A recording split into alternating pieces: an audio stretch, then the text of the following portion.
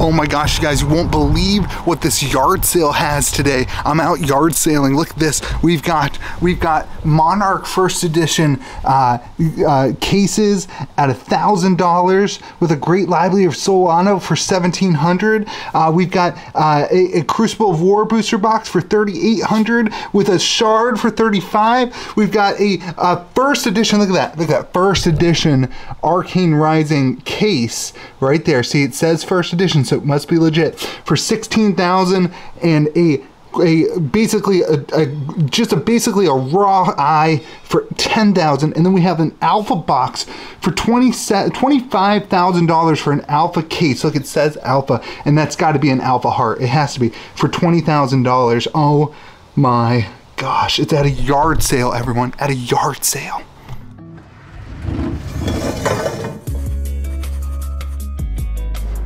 I want you to pretend that this video was real and that we were actually at a garage sale. And at this garage sale, you saw these actual prices, which is about what the market price is right now. You're not getting any yard sale deals here. Now, here's what I want to talk about. This video, we're gonna chat about the idea that right now the market doesn't make any sense for the Library of Solana. I want to back up and say I myself have purchased two Library of Solanas. My average price point is around $1,500. So I am not biased at all in this. Uh, this is the point. The Library of Solana is more expensive than a case of Monarch every other set we have here, a case of a case of the edition is worth more. So imagine that you're hanging out and you're at a garage sale. You know nothing about this game. So you pop up and you're looking at the price and you're saying, "Hey, why why did, why are those priced like that? What's the yard sale guy to say? He has no reason."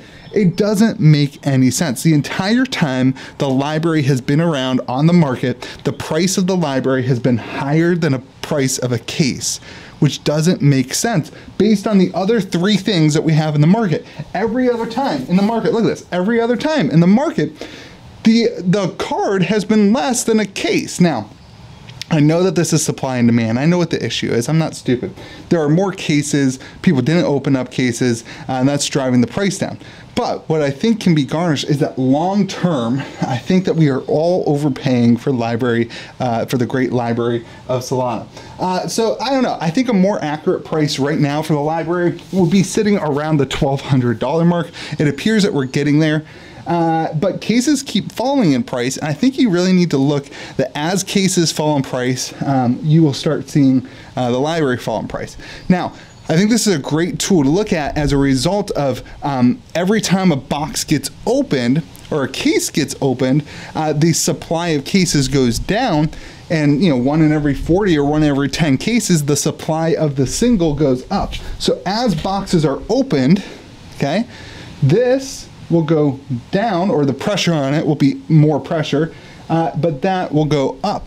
So as we go forward, I just want to encourage you to have diversity in your assets. A lot of people are selling Monarch first edition cases right now, uh, and I don't know if you have some that you're holding back or what, but please make sure that you have diversity because as things go, you can't put the cards back in the case. It's not possible. That's why we start seeing these case prices rising at more extreme rates than the single prices. Uh, and this is across the board. You can see, I mean, these prices are, are relatively accurate. I don't know how perfectly accurate they are. Uh, it would be really difficult to find a case of uh, alpha. It'd be really difficult. I'm like rolling around on the garage. It would be really difficult to find a case of alpha right now. There's just so few of them. Uh, and that will not be the, the same, I don't think, for Monarch. Although, as Monarch approaches lower prices, more and more of it's going to get opened. Crucible is going to be the most interesting of all these, I think. Um, these have already kind of locked in that idea. The question will be, does did people hold a lot of Crucible cases or not? And I'm not sure what the answer is to that, honestly. Uh, but I am curious to see what happens. Uh, that being said, I think right now the library is a little bit overpriced. I almost I don't regret buying it because I don't ever regret buying anything. Uh, I had my target price for buying one because I didn't pull one that's why George says that James White hates me.